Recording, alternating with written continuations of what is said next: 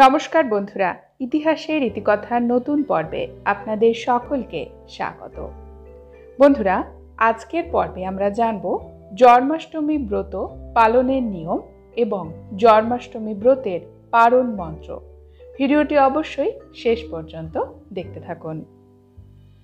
জন্মাষ্টমী, ভগবান শ্রীকৃষ্ণের শুভ জন্মতিথি।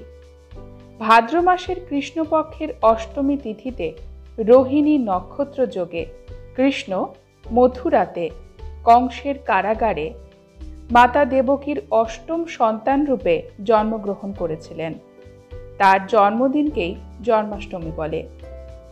শাস্ত্রমতে, কেউ যদি একবার শ্রীকৃষ্ণের এই জন্মাষ্টমীতে উপবাস পালন করেন, তাহলে তাকে এই জড় জগতের জন্ম, মৃত্যু, ব্যাধি, কষ্ট ভোগ করতে হয় না।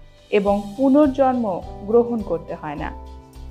জেনে নিন কীভাবে জন্মাষ্টমীর ব্রত পালন করবেন। জন্মাষ্টমীর আগের দিন অবশ্যই নিরামিষ খাবার গ্রহণ করবেন এবং সংযম পালন করবেন। রাত্রিবেলা একটু তাড়াতাড়ি ঘুমানোর চেষ্টা করবেন।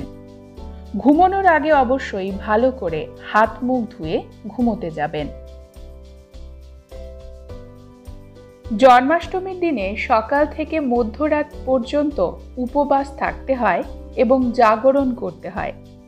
উপবাসী থেকে হরিনাম জপ, কৃষ্ণ লীলা শ্রবণ, ভক্ত সঙ্গে হরিনাম কীর্তন, অভিষেক, এই সকল কিছু করতে হয়। ভগবানকে অভিষেক করে একাদশীর মতো অনুকল্প, প্রসাদ সেবন করতে হবে। তবে যাদের উপবাস পালনের সমস্যা রয়েছে, যারা অসুস্থ তারা অবশ্যই দুপুর বারোটার পরে কৃষ্ণের কাছে ক্ষমা চেয়ে একটু দুধ বা ফল খেতে পারেন। তবে এই ব্রতে একাদশীর মতোই অন্নসহ পঞ্চ রবিশস্য খাবার বিধান নেই। জন্মাষ্টমীর পরের দিনে সকালবেলা স্নান করে নির্দিষ্ট সময়ের মধ্যে পারণ মন্ত্র পাঠ করে শ্রীকৃষ্ণের প্রসাদ দিয়ে পারণ করবেন।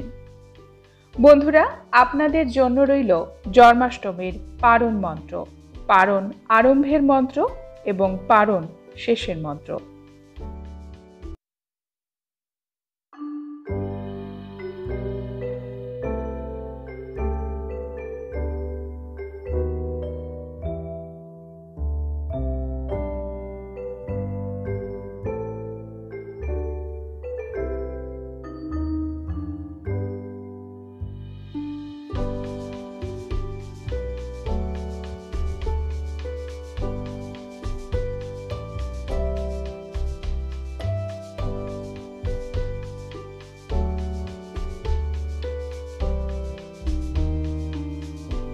বন্ধুরা, আজকের পর্ব এ পর্যন্তই। পরবর্তী পর্বে নতুন একটি বিষয় নিয়ে আপনাদের সঙ্গে কথা হবে। ততক্ষণ সকলে সুস্থ থাকুন, ভালো থাকুন এবং পুরো ভিডিওটি দেখার জন্য আপনাদের অসংখ্য অসংখ্য ধন্যবাদ।